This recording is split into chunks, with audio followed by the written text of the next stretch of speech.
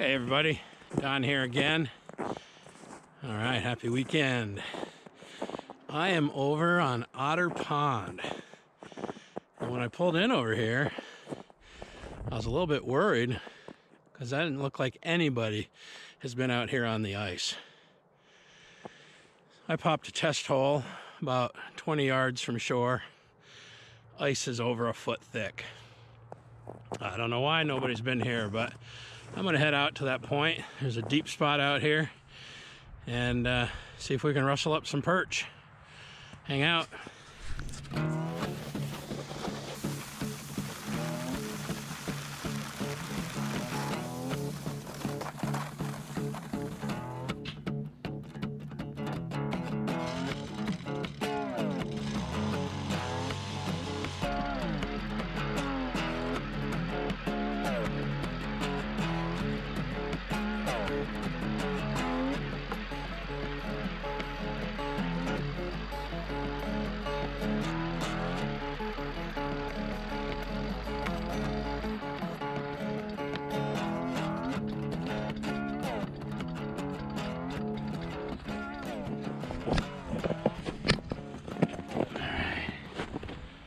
Let's have a look, see how deep it is.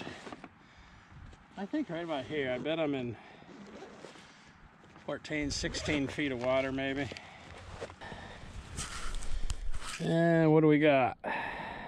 18 feet of water. Let's give it a go. All right. Just gonna start off with this little uh, tungsten jig. I got a little white, uh, uh, no, a little clear split tail on it. I redid all my rods, put 10 pound braid on them, Power Pro Super Slick.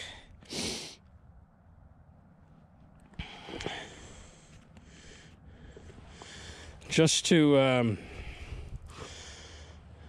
so I could feel it a little bit better. And then I have a uh,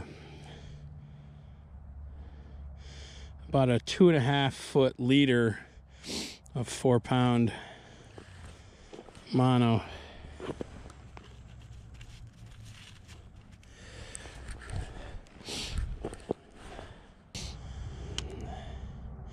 I'm going to pop uh, a bunch of holes. I'm just going to start working my way out to that point if I don't see any action down at the bottom, I'm going to move real quick. I just really wanted to test the ice, see what we had for ice, and then uh, just see if there was anything showing up at all. All right, so I know we got good solid ice. I'm going to uh, on a boogie.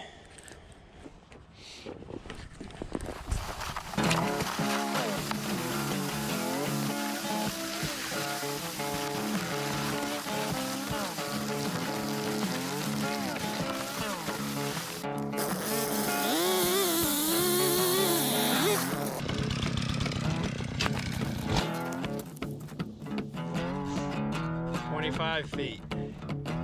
28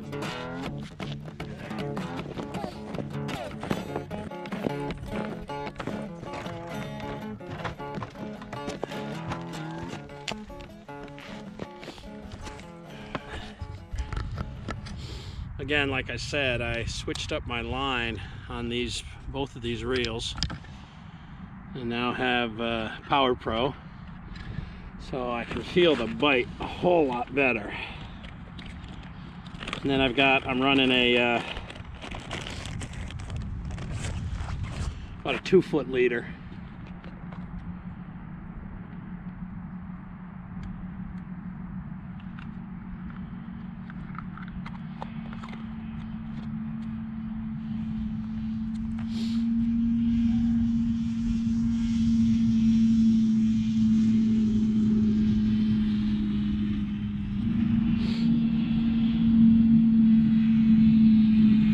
So I don't see anything down at the bottom. I'm, you know, just bouncing right off the bottom. I haven't had any activity around it.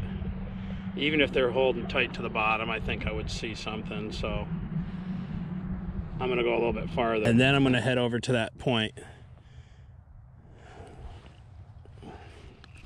And I'm just going to keep moving. We got nasty weather coming in tonight.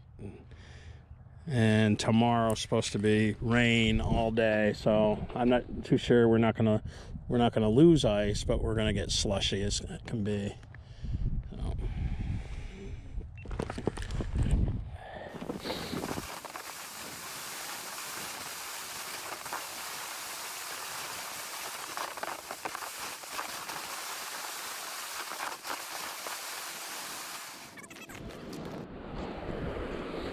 Boy, big pressure crack here. Holy moly.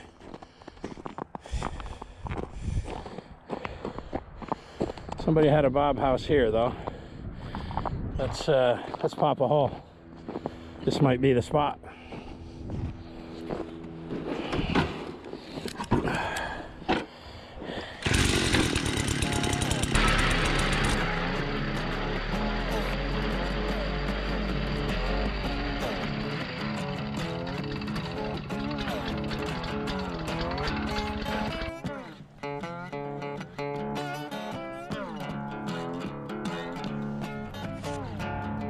All right, well, haven't found anything in deep water.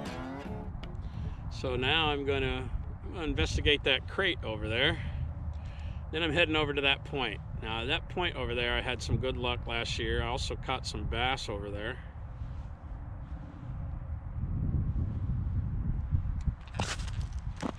Let's move. Running and gunning.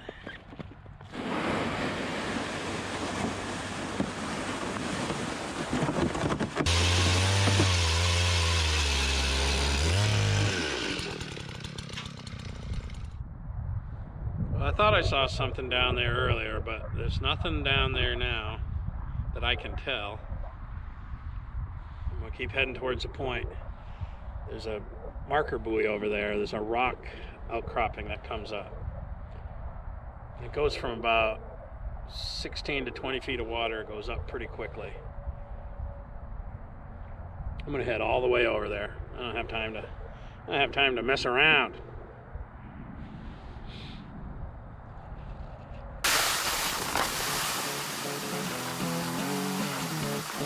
Thank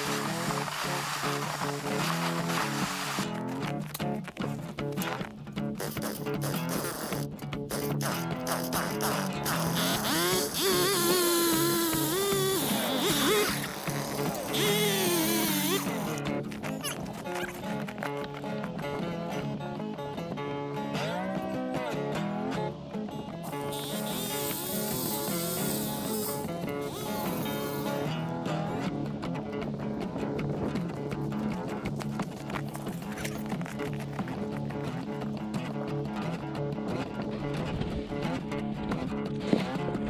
Keep moving and grooving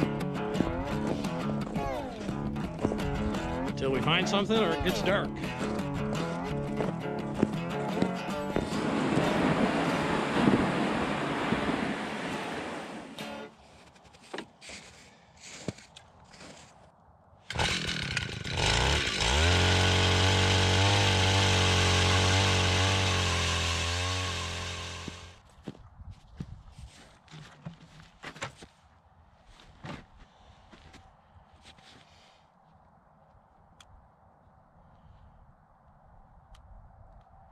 All right.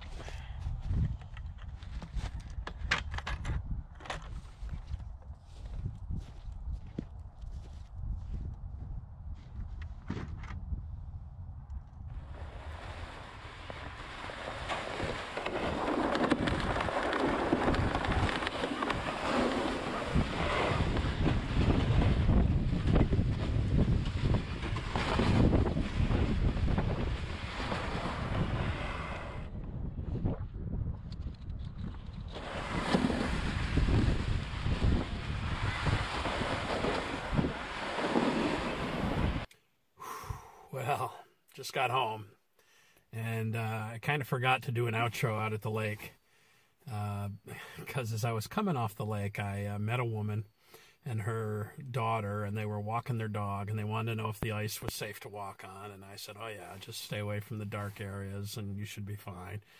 Um, and then I heard a little yip, and their dog took off, and one of my poles took off behind him. So he'd gotten a uh, a jig hooked in the back of his neck as he was sniffing around, and uh, luckily it hooked most of it hooked the collar, and so the uh, barb didn't go in.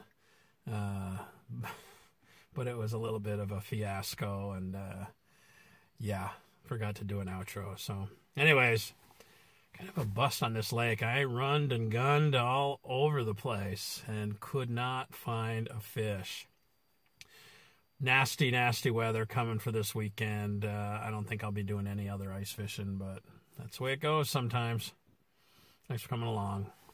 Peace.